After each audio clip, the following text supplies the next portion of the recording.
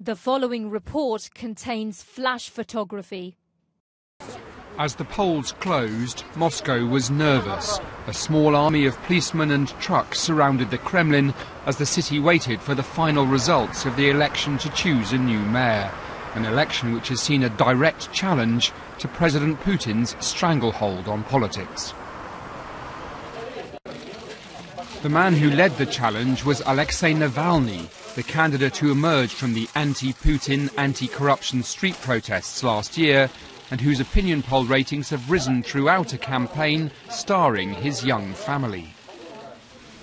By contrast, Vladimir Putin's man, the current mayor Sergei Sobyanin, with important state-controlled TV channels in the city behind him, has barely bothered to campaign. Early official results suggested he had just scraped through on the first round. But Alexei Navalny immediately disputed that, which means the election is heading for a tense finish.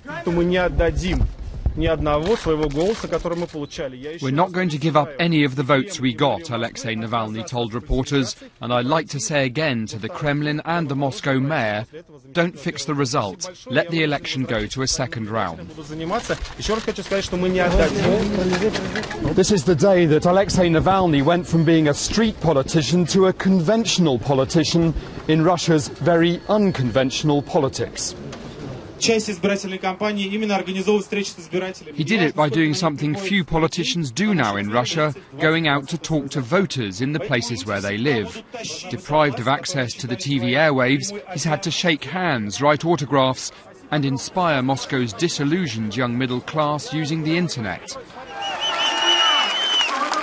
His opinion poll ratings have built steadily. A rookie politician with no organisation behind him, he was never going to win the first round, but he's done better than all the predictions. And seven and a half weeks ago, he was on his way to prison for embezzlement after what he claimed was a political trial before he was freed pending his appeal.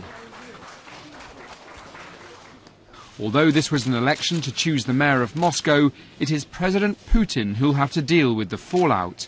Everyone knows this was a challenge to his rule, and any false steps could bring angry Muscovites back out onto the streets.